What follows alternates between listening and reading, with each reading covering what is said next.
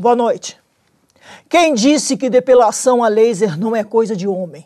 Gente, depilação a laser é para quem tem pelo e não quer ter mais.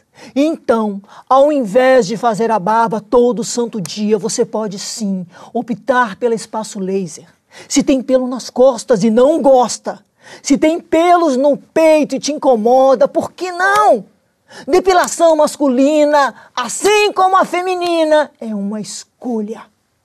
Autocuidado não tem gênero, gente. Você, homem que faz barba, também pode experimentar três sessões grátis